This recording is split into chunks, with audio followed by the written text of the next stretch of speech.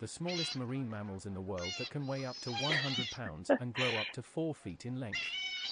Sea True. That's also an actual sea otter marine mammal that vocalization. doesn't have a layer of blubber to keep them warm. Mhm. Instead, they have the densest fur of any mammal, with up to 1 million hairs per square inch. Yes. Sea otters are excellent swimmers and can hold their breath for up to 5 minutes while diving. Can we just talk about how rare it 6 is for these videos to actually only have footage of sea otters, no river otters sprinkled in? their body weight in one day, which would be equivalent to a 175 pound human eating 45 pounds of food. Look at those teeth.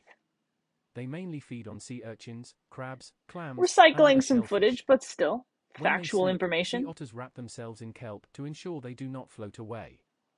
They will also hold each other's hands to stay close while sleeping. Uh, sort of. A Just mums and pups do this, but otherwise, documented over 1,000 stuff. sea otters in a single raft.